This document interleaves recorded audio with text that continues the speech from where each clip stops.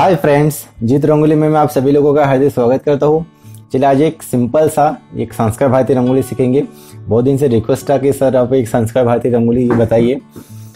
तो एक सिंपल सा एक दो राउंड के अंदर एक सिंपल सा संस्कार भारती बनाएँगे। तो नीचे शेड देंगे और उसके ऊपर थोड़ा वाइट रंगोली से डिज़ाइन बनाएँगे। तो शेड के लिए हमने पहले लाइट पिंक भरे। उसके साइड में थोड़ा डार्क पिंक और दोनों को मिलाने के लिए लाइट पिंक और डार्क पिंक को फिफ्टी फिफ्टी लेके बीच का जो शेड बना है वहाँ पर बीच में डालें। थोड़ा सा ब्लेंड हुआ। उसके बाद पिंक और ब्लू को ब्लेंड करना है। पर दो कलर दिखाना है। इसलिए ब्लू को ब्लेंड करने के लिए जो पिंक कलर था पिंक कलर में पहले थोड़ा सा ब्लू मिलाना है। तो इस प्रकार के थोड़ा सा जो वायलेट कलर का शेड आता है। उसके बाद जो ब्लू है, वो ब्लू फिल करना है। उसके बाद जो बाउंड्री है, उनको ब्लैक कलर से फिल करना है। इस प्रकार जो छन्नी में थोड़ा जल्दी गिरता है, ऐसा छन्नी लीजिए ताकि जो आउटलाइन है थोड़ा सा अच्छा बने। अब ये दो आउट ब्लैक और ब्लू को ब्लेंड करने के लिए हमने ब्लू और ब्लैक को 50 50 परसेंट में लिए। और बीच में जो शेड बना, वो वहाँ पर फिल किए। तो ये थोड़ा सा ब्लेंड हो गया वो मतलब मिक्स हो गया। तो ये हमने पहला जो स्टेप था वो हमने कंप्लीट कर लिए। इसके बाद रहेगा जो आउटर सर्कल है वहाँ पर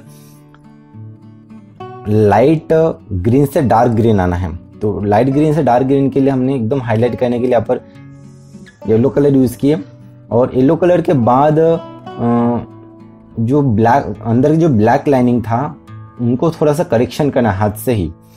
क्योंकि कितना में हम करे, करेंगे छन्नी से उतना नहीं आता है फिनिशिंग तो इसलिए हाथ से थोड़ा सा करेक्शन करेंगे।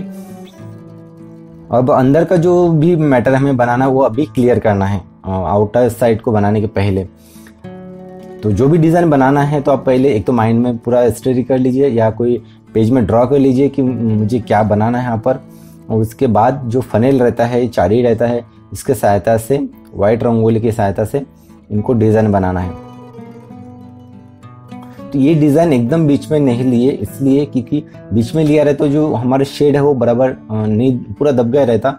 इसलिए थोड़ा शेड को दिखाने के लिए हमने थोड़ा सा डिज़ाइन को नीचे लिए ताकि जो साइड का भी डिज़ाइन दिख रहा है और अंदर का जो पिंक डिज़ाइन है आ, कलर है वो भी दिख रहे। तो इस प्रकार अपने हिसाब से डिज़ाइन बनाइए, कुछ डॉट दीजिए। इस प्रकार के डिज़ाइन में कुछ डॉट देते तो ज़्यादा अट्रैक्टिव लगता है। चलिए, बाकी जो शेड है, अंदर का और कुछ नहीं करेंगे ज़्यादा। एकदम ज़्यादा डिज़ाइन भरगज भर देंगे तो वो अच्छा नहीं दिखता। इसलिए इस प्रकार के जो गालीचे रंगोली होता है, या संस्कार भारतीय रंगोली होता है, एकदम हल्का सा डिज़ाइन देंगे। और जो शेड है, वो इम्पोर्टेंट रहता है।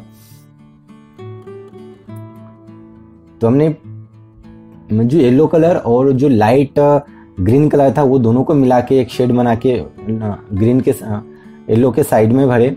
उसके बाद जो लाइट ग्रीन हमारे पास था, वो लाइट ग्रीन भर दिए। उसके बाद जो स्टेप रहता है लाइट ग्रीन और डार्क ग्रीन को मिला के और एक शेड बनाना है, वहाँ पर फिल करना है, फिर डार्क ग्रीन भरना है और उसके बाद उसके साथ ब्लैक मिलाना है। तो ब्लैक मिलाने के पहले जो ये स्टील का छन्नी था, उसके सहायता से जो आउटर साइड है, उसको ब्लैक कर दिए। या आपके पास यदि रंगोली फिलर है, जो छोटे छोटे डब्बे रहता है, रंगोली फिलर के, और उनका जो नीचे का जो जाली है, वो सा थोड़ा सा मोटा जाली होना, ताकि प्रॉपरली गिरे। तो उससे भी कर सकते हैं, या जो ये चाय छन्नी आता है स्टील का, ये भी अच्छा फिनिशिंग आता है। अब जैसे दो कलर को ब्लेंड करना है, तब हमारा छन्नी चेंज किया, देखो। क्योंकि ये जो छन्नी है, इसमें थोड़ा सा धीरे गिरता है तो ये इसमें क्या होता है, जो कलर है वो प्रॉपरली स्प्रेड होता है और हमें वर्क भी अच्छा होता है, काम भी अच्छा कर सकते हैं। और ऐसे समय में यदि कोई शेड को हमें ब्लेंड कर रहे हैं और ऐसे समय में कोई छन्नी यदि जल्दी से गिर जाता है तो वो जो ब्लेंड है वो बराबर नहीं होता है। इसलिए आप चाहे तो दो तीन जो छन्नी है वो यूज़ करना है, दो तीन छन्नी यूज़ करना है, जहाँ पे जो सुविधा हो। और जो ये आउटर लाइन जो हम बना रहे, ये इम्पोर्टेंट होता है। यदि थोड़ा सा इधर उधर हो गए तो जो जो राउंड शेप है वो बिगड़ जाएगा। यदि राउंड शेप बिगड़ा तो हमारा जो डिज़ाइन है, वो बराबर नहीं दिखेगा। फिर भी कितना भी कोशिश की है फिर भी थोड़ा सा लग नहीं रहा एकदम फुल राउंड है करके। अब इसके बाद चारों साइड में हल्का सा डिज़ाइन देंगे इस प्रकार के फनल के सहायता से व्हाइट रंगोली से।